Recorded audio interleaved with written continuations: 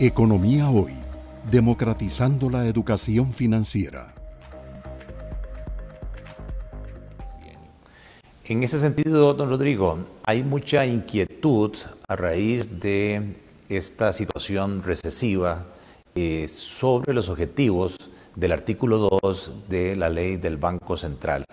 Eh, ¿Qué esperan en cuanto al control de la inflación, el comportamiento de la inflación y si ven un mayor margen para una política monetaria eh, acomodaticia que pueda ayudar a la recuperación de la actividad económica y de igual manera el objetivo de la estabilidad y la solvencia del sistema financiero eh, utilizando los instrumentos que ustedes tienen a disposición?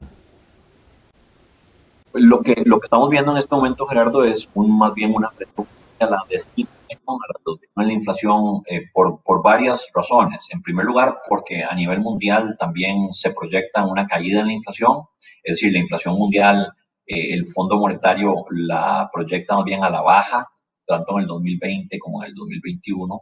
Eh, bueno, en el 2020 fundamentalmente con un pequeño rebote en el 2021, pero siempre por debajo del nivel que observamos en el año 2019 que de por sí ya era un nivel de inflación mundial baja.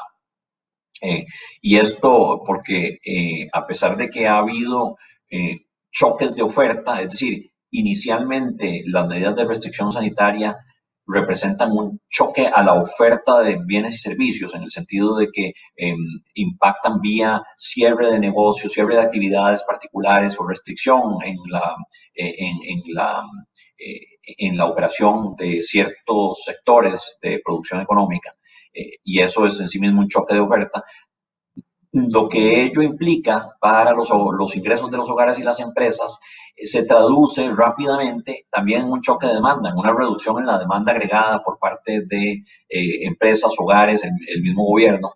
y esto prevalece sobre el choque de oferta. En el momento, recuerdo que un economista muy conocido, Kenneth Rogoff, al inicio de, haber sido al inicio de marzo, o sea, cuando estábamos en, los, en, las primeras semanas de, de, la pandemia, cuando ya de Asia se había empezado a extender rápidamente a Europa y ya nos, empezamos a dar cuenta que este era un fenómeno mundial.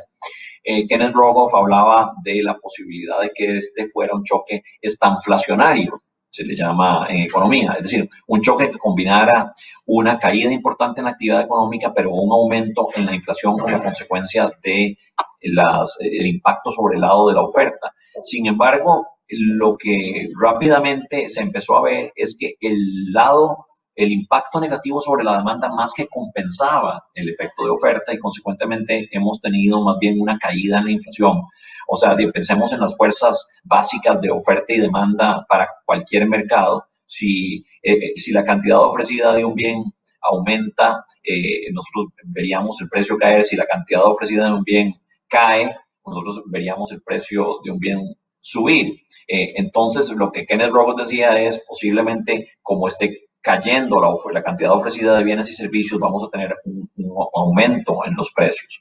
Pero está también el lado de la demanda. Y por otro lado, si sabemos que si la demanda de un bien aumenta, la cantidad demandada aumenta, el precio del bien aumenta. Pero si la cantidad demandada de un bien o un conjunto de bienes cae, los precios tienden a caer. Eh, tendríamos ahí entonces un, eh, efectos que se compensan. Por un lado, una reducción en la oferta que haría aumentar los precios, una caída en la demanda que haría caer los precios. Y la gran pregunta era cuál de estos dos efectos va a prevalecer. Hoy en, en día no hay duda de que el efecto de demanda, menor demanda agregada, está prevaleciendo fuertemente a nivel mundial sobre el de oferta y consecuentemente hay una, una reducción en las presiones inflacionarias. En el caso de Costa Rica, esto está además eh, acompañado de eh, la caída en los precios del petróleo. Como somos una economía importadora de petróleo, esto nos beneficia ciertamente y además reduce las presiones inflacionarias. Y esos son aspectos eh, de la economía externa que influyen en nuestra, nuestra inflación. Pero también desde el punto de vista interno, hay otras dos fuerzas que mm, tienden a presionar a la baja a la inflación. En primer lugar, eh, la contracción económica, eh, que hace que exista mucha capacidad ociosa en la economía y ya teníamos una brecha de producto negativa, es decir, capacidad ociosa en nuestra producción económica, pero también el alto nivel de desempleo, la alta tasa de desempleo que estaba alta ya en el último trimestre del 2019 a 12,4%, eh, sin duda, como hablábamos ahora, va a aumentar, se mida como se mida, eh, entre, entre los desalentados, los desempleados y la pérdida de empleos en general, eh, vamos a ver entonces una brecha de desempleo, es decir, una cantidad importante de, de, de, de desempleados o gente inactiva en relación con lo que uno esperaría que fuera el nivel de equilibrio para la economía costarricense. Y esto también presiona a la baja los salarios y consecuentemente los precios. Entonces esas fuerzas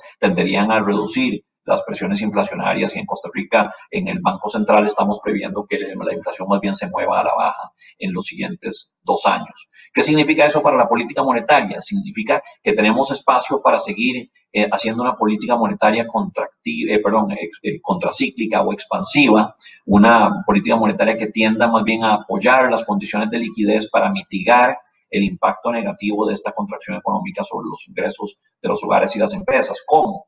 Bueno, manteniendo una presión a la baja sobre las tasas de interés e inyectando liquidez en la economía. Y esta inyección de liquidez es muy importante porque en, muchos mercados financieros ya en el mundo se están viendo tensiones de liquidez.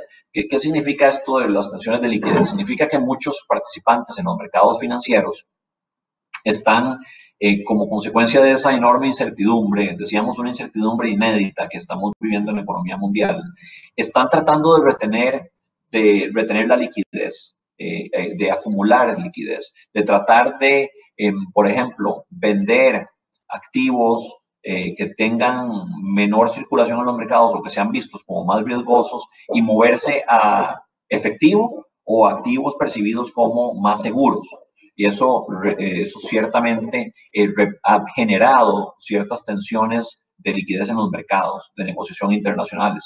Y en Costa Rica hemos visto algo de esto.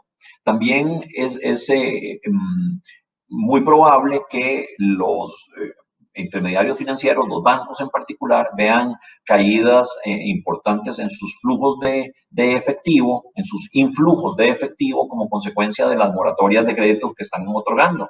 Eh, eso también va a generar algún, alguna presión en la liquidez sistémica. Eh, y por eso es muy importante que desde el Banco Central estemos en capacidad de inyectarle liquidez a los mercados. Y eso es justamente lo que hemos venido enfatizando. El Banco Central, eh, desde su junta directiva, ha tomado una serie de decisiones para permitirle a la administración del banco intervenir inyectando liquidez en diferentes mercados eh, financieros en Costa Rica. Y esto es fundamental para eh, no solo mantener la estabilidad de esos mercados, evitar movimientos abruptos en los precios y los rendimientos de los activos que se transan en esos mercados, sino también para asegurar el normal funcionamiento del sistema de pago nacional y consecuentemente asegurar que el crédito y los recursos sigan fluyendo en la mejor medida, en la mayor medida posible hacia los hogares y las empresas. Economía hoy, democratizando la educación financiera.